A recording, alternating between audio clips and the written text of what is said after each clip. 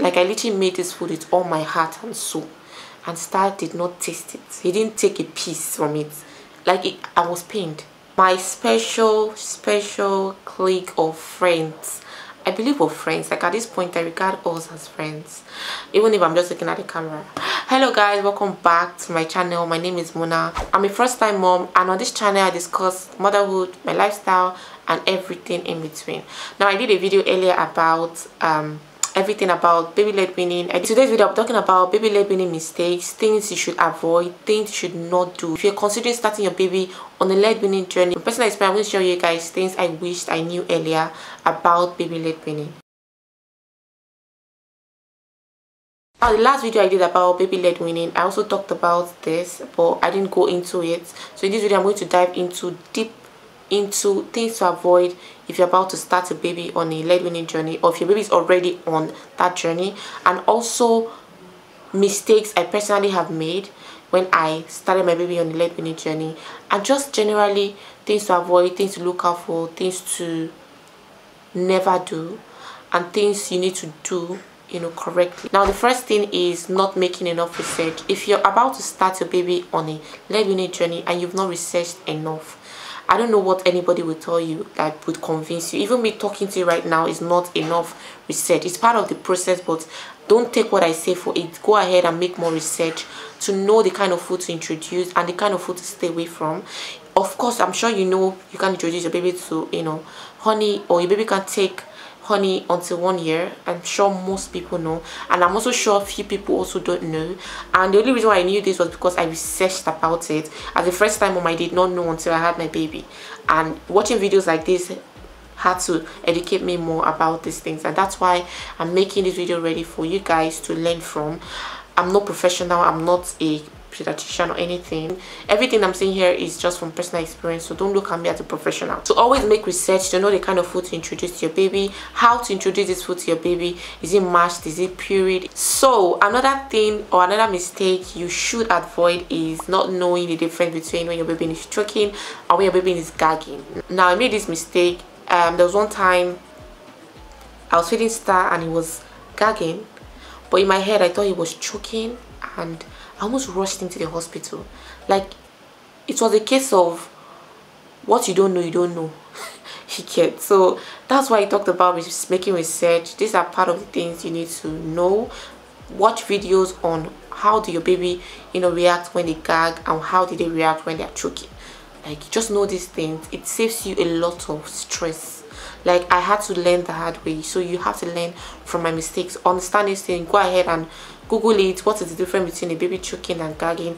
Watch a video as to that. So that will help you prepare yourself. If that day ever comes you know what's happened third thing again i will discuss we do not need teeth to start baby led weaning. They can use their gum to chew. They can use their gum to chew food.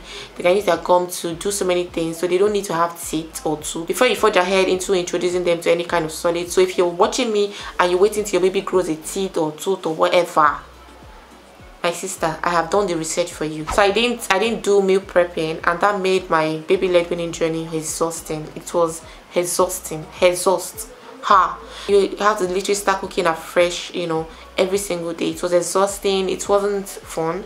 So what helped me really was to understand that it was okay for you to prep meals for your baby and in different form of course. The ingredients you're using just put them in the freezer make them ready. At this point you understand their routine. So once you know it's time for them to eat it takes you nothing less than 10 15 or 20 minutes to make the food. That made a lot of change. When i started you know meal prepping prepping vegetables prepping stew prepping sauce. It just made life easy for me. I was just it was easy. And now it's it's like on the go. I make um, solid food every day for my baby once or twice. And i don't you know go through that much headache like i used to. Another thing to avoid is giving up too easily.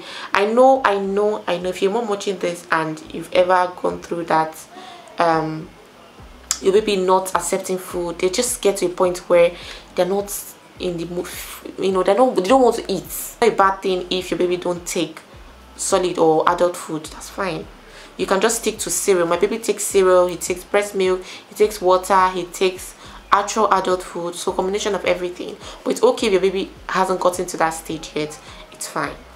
And most times most babies get to a point where they reject food. Food rejection is a thing.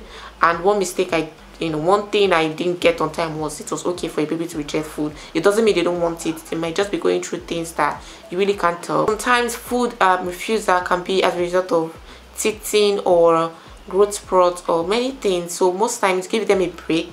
When once you notice the baby is refusing to eat and he has always been eating and he just suddenly stops eating or stops sitting on a chair on a high chair to feed themselves give them a break.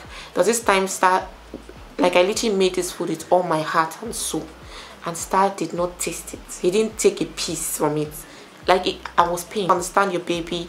And when they refuse to eat offer them something else or give them a break there was this post I made on my Instagram where Star was eating and feeding himself. I got this comment about someone who said his child will never sit down to eat. It felt completely relatable because most times Star would not want to sit. There was a period when for a whole month we didn't sit on a high chair. It was just on the floor, on the chair, on the display mat. I was feeding him there or he would feed himself on just any other area apart from the high chair. I don't know what was happening. I, I can't go into his head and figure it out but I took a break. And going back now like after a month I started again. And it felt like what happened didn't happen. Just watch and know what the baby signs are. Of course always use sign languages for them to know when they want water when they want they're done eating. Little sign languages would go a long way to understanding what a baby wants at every point in time another thing or mistake or something i learned the hard way is distraction. Babies really don't like distraction. Now let me give you an example. Let's say a baby's feeding themselves or a baby's eating and there is a stain on his face or her face. Don't go in there and start cleaning it or don't start taking up. don't do that. Don't just don't. It gets them irritated just like you being an adult and you know you don't like being distracted when you eat that's the same way they operate as well. Some babies don't like when you distract them or try to clean up mess when they're eating just let it go. They're going to make a mess. Be prepared for it. I talked about all you need to prepare yourself for.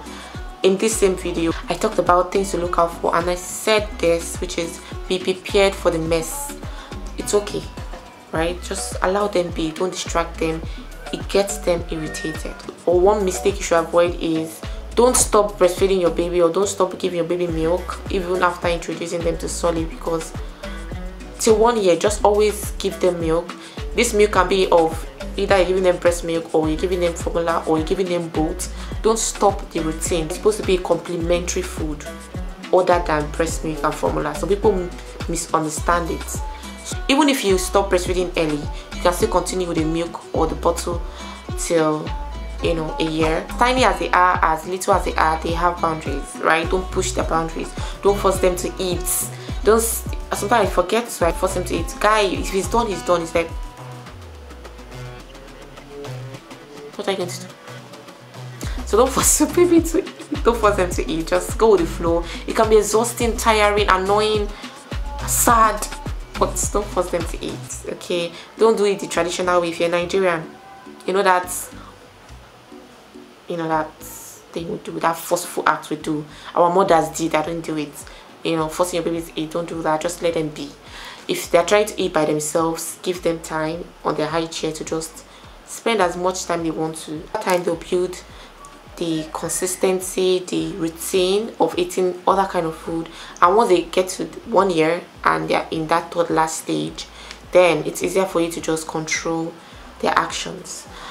This brings me to the end of this video. If you enjoyed watching me blab let me know down in the comment section. If you've learned one or two things if this video has been informative or educative in any way or provided help to you in any way let me know down in the comment section. And if you've made any of these mistakes um classify them as mistakes because it's something you can avoid. And if it's something you can relate to also let me know down in the comment section if you've done any of these things as well and the result was crazy let me know down in the comment section. If you haven't subscribed to this channel please what are you waiting for? Please subscribe. I would love to have you as part of my community members and also turn on your notification bell to stay notified every single time i drop a new video follow me on instagram if you're not at the Muna. There I share daily tips and tricks on baby-led weaning and also mom hacks. So do follow me on my Instagram. And if you haven't subscribed to this channel yet, please subscribe and turn on your notification bell to stay notified when I drop a new video. See you guys in my next video. Bye.